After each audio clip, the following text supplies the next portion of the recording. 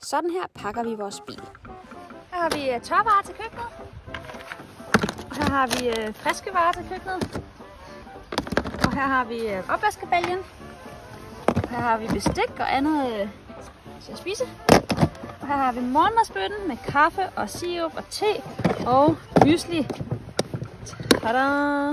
Det er den vigtigste. Det er den, kaffen kommer ud af. En Aeropress. Og selvfølgelig vores køre, termokopper og de to trænkersæt, som vi bruger en splitten til. Det er vores køkken.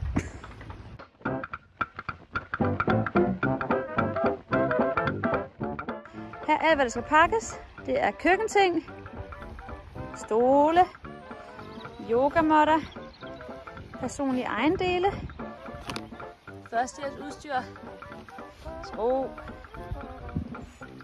er tasker, tasker, tasker og lidt musikinstrumenter. Og det skal altså ind i denne her bil.